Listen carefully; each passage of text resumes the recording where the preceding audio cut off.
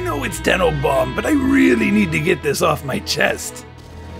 Swear to Lotus our Archwing sucks. Sure, it exists, but I give no fucks. Spinning cameras, what could go wrong? Ice skating controls stomp on my dong. Instantly blown out the skies. Use it on Poe and be traumatized. Delirium can kiss my ass.